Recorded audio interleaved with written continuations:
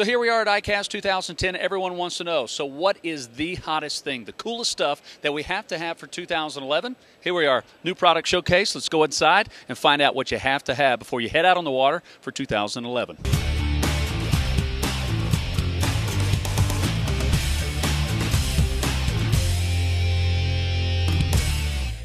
So, out of all the products that can win Best in Show, of course, there's only one Best in Show. That award goes to the NRX, part of G Loomis Rod. Uh, we've got uh, Justin Pose, marketing brand manager with G Loomis. Congratulations, winning Best in Show. That's Thank a big deal. much. It is a big deal. We're very excited. The real key to NRX is it's at minimum 15% lighter than our already very light GLX, which you know about. It's a minimum 15% stronger than our already strong GLX.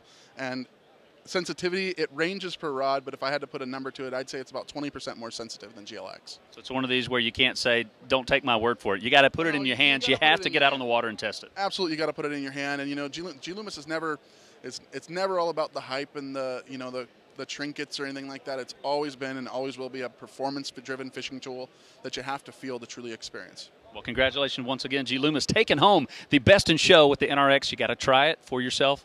Don't take our word for it.